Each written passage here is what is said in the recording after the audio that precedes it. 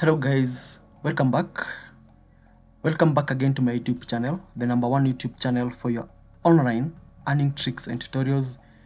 So today's video is a very is a quite short one because uh, I talked on my Telegram channel. I said I will show people how to connect the Bitbrowser profile, uh, cloud profile. You transfer it from your PC or the Bitbrowser software into your physical uh, into your physical what? Into your physical phone. So if you don't if you don't know about Bitbrowser and even about the cloud profiles I'm talking about, I made a video here, uh, the Bitbrowser secrets on how to setting up the cloud profile. Be sure to watch this video first before even coming to try what I'm going to show you now. So this is the cloud profiles. So I've already set up a profile here. You can even see the IP and the details and everything. So let me click here, open.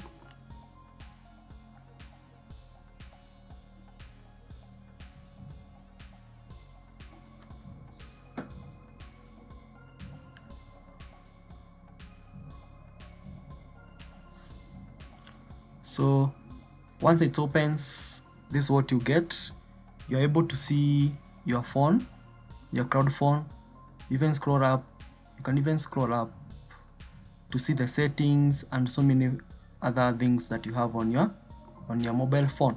Now for you to transfer uh, this device to your mobile phone what you need to go you need to come to this uh, this option here transfer to mobile then you're supposed to scan this QR code either using your device's camera or uh, Chrome uh, QR code scanning option or any app which can scan a QR code.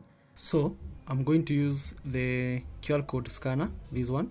You can also use your device's camera if it has the capacity to scan the QR code. So let me use this app. It's a free app. So you can see from the phone's camera, you can be able to see the screen of my laptop. So you see it's real. Now i want us now to scan. You see? Have you seen that? Let me do it again. So now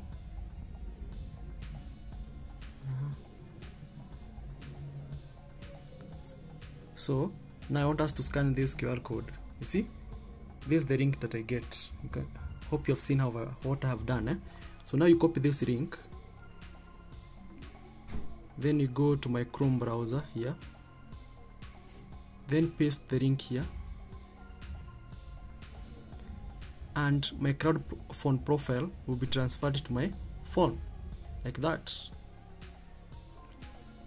And once it transfers to your physical phone on the actual site the cloud phone profile site here you can see it's no longer displayed here because the display is now here on on my mobile phone. And I can be able to work on it the way I want.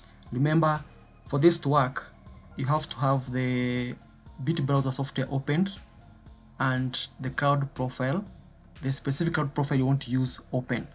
So these two PC and mobile work hand to hand. So this is very very important.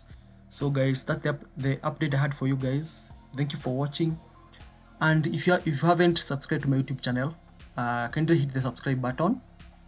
I'll be very very much grateful. And those who are returning subscribers uh, always like my videos so that the youtube algorithm can recommend my videos to many more people.